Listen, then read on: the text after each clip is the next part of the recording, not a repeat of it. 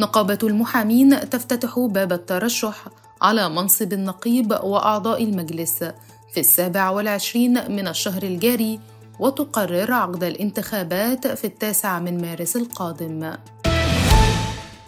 نقيب المحامين يشهد افتتاح نقابة إدفو بعد تجديدها وفرشها بأحدث الأساسات ومحامو إدفو يؤكدون بأن الفساد لن يعود مرة أخرى لنقابة المحامين.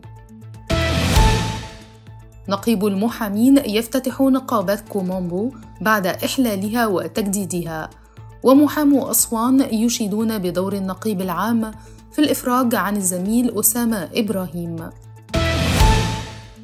نقيب المحامين يلتقي وزير الإسكان لبحث المشاكل الخاصة بالأراضي والنوادي الاجتماعية بالمدن الجديدة. النقيب العام يتفقد استراحات المحامين بأشمون ويؤكد بأنه أغلق منابع الفساد داخل النقابة. نقيب المحامين يتفقد مجموعة من الأراضي لتخصيص أفضلها لإقامة نادي لمحامي أشمون بالمنوفية.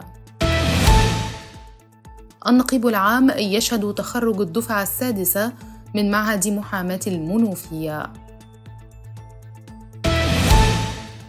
لجنة المعاشات تنتهي من فحص ومراجعة 274 ملفاً.